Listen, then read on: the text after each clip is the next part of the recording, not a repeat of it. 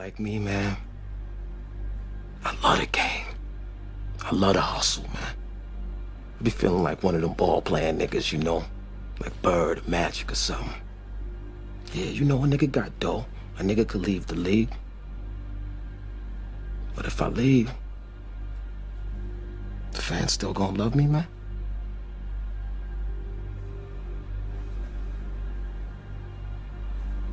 I get love out here in Harlem, man. I done sold coke on these streets, man. Hash, weed, heroin. As long as niggas is feeling it, a nigga like me can hustle it. That's my gift in life, eh? You know?